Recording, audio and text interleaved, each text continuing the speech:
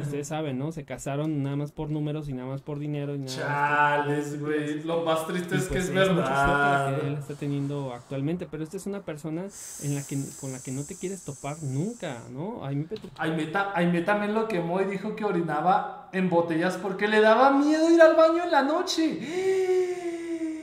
¡A la verga, güey! Confirmado, el cabezuco sí actúa como un niño, sí tiene la mente de un niño.